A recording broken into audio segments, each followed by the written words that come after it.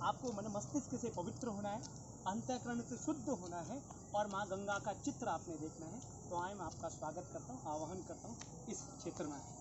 ये थे हमारे जोशी जी अब मैं आपको मिलाता हूँ मेरे मित्र विनय जी से।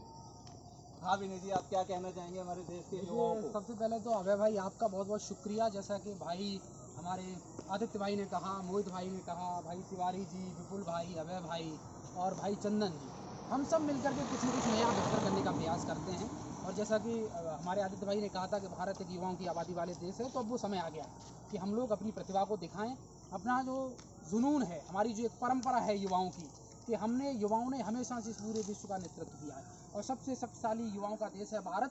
तो क्यों ना अब लॉकडाउन की इस जर्नी को हम पार कर पा रहे हैं और एक नए चरण में प्रवेश कर रहे हैं। 2022 की जो यात्रा होगी, वो बहुत एक सुखद यात्रा होगी। तो बदलाव के दौर से हम लोग निकलेंगे और बदलाव के लिए युवा हमेशा तत्पर रहा है। चाहे सन अठारह सौ सत्तावन की क्रांति हो, चाहे वो आज़ादी का युद्ध हो, हम सबने देखा है कि युवाओं ने परिवर्तन किया है। तो युवाओं को आगे आना चाहिए और इस राष्ट्र के लिए बेहतर करना चाहिए। और अभय भाई जो इस यात्रा को आगे बढ़ा रहे हैं, इनके चैनल को भी सब्सक्राइब करना चाहिए ये आपकी ज़िम्मेदारी बता धन्यवाद। विनय जी आइए मैं आपको मिलाता हूँ मेरे मित्र तिवारी जी।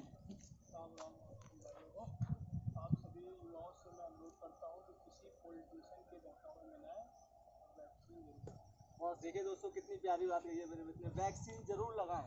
सेफ्टी रहे स्वस्थ रहे खुश रहे। तो दोस्तों